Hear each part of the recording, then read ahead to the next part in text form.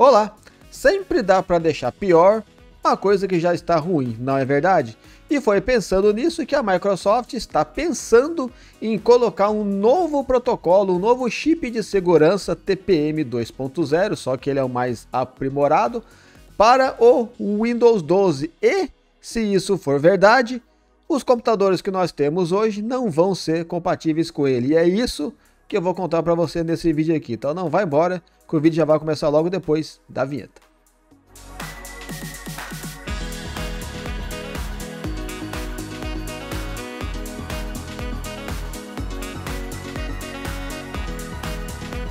Oi gente, tudo bem com vocês? Bem-vindos a mais um vídeo aqui do Sérgio Tech. O meu nome é Sérgio e você é muitíssimo bem-vindo aqui no meu canal. Se você for novo aqui, aproveite, inscreva-se aqui no Sérgio Tech, não se esqueça de dar um like no vídeo para dar aquela força para o trabalho que eu faço aqui no canal. Com muito carinho para todos vocês. E se você já for um inscrito aqui do Sérgio Tech e você quiser e você puder me ajudar mais ainda para que eu continue a fazer o meu trabalho aqui no canal, considere tornar-se um membro.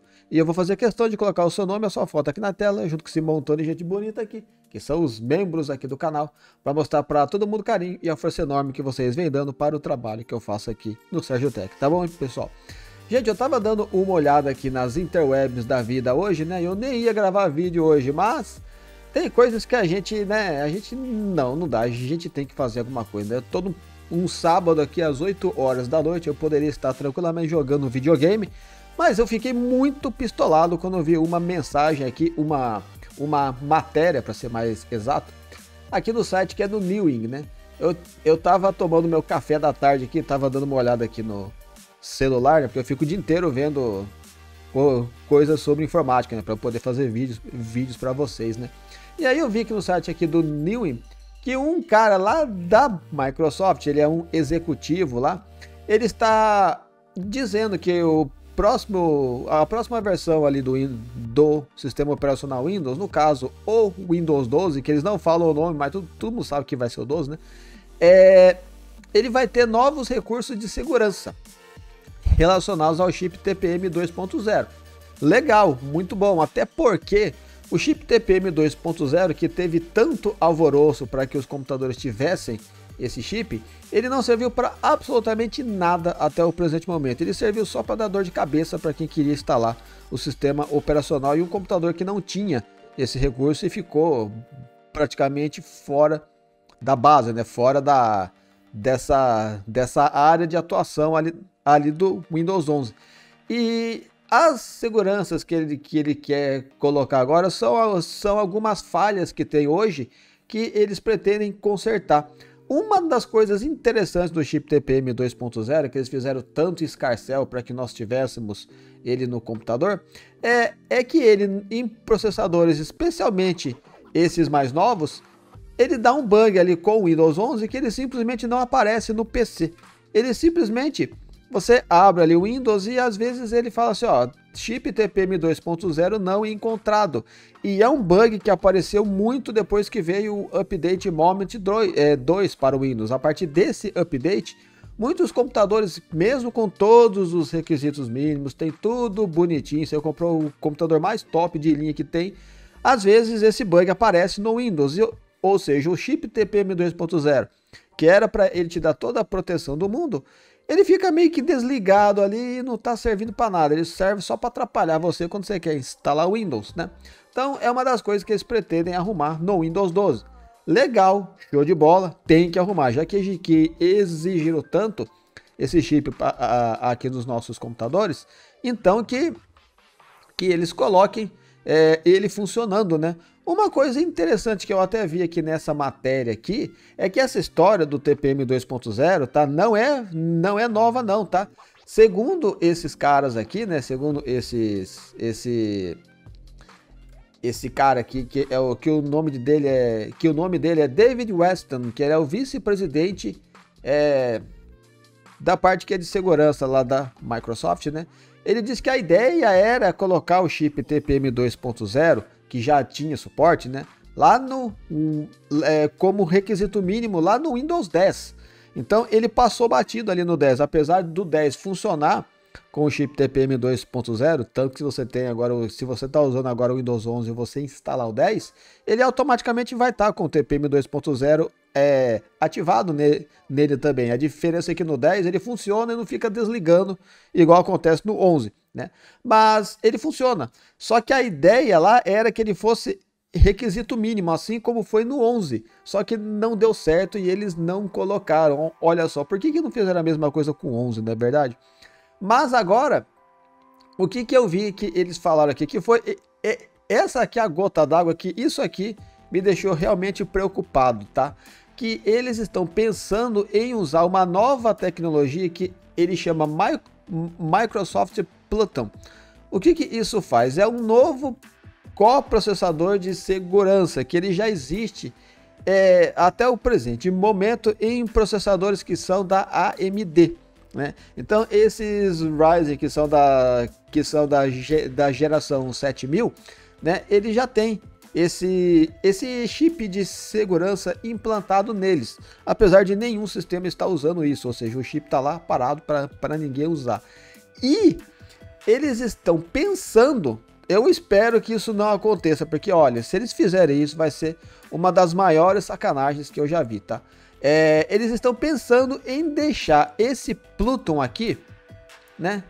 É mandatório, ou seja, ele vai ser requisito mínimo para você instalar o Windows 12 no seu computador. E isso me deixou muito preocupado, até porque é, tem muita gente que está comprando processadores que são Ryzen da linha 5000, que são excelentes processadores, tanto que eu fiz agora um upgrade agora em dezembro, troquei aqui o meu kit, eu peguei um Ryzen 9 que é da linha 5000, um excelente processador que eu pretendo não trocá-lo nos próximos 5, 6 anos, porque realmente é um monstro de processador.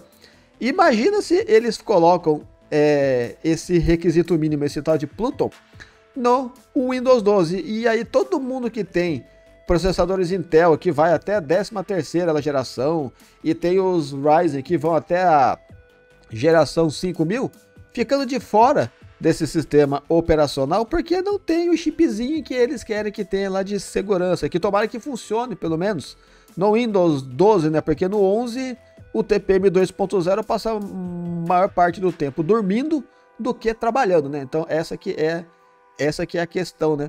Então imagina se eles fazem isso. Eu acredito, tá? Eu tenho quase certeza, tá? É que eu fiz o vídeo aqui porque eu gosto de deixar vocês aqui sempre bem informados. Eu sei que vocês gostam de estar sempre por dentro aqui das coisas, né?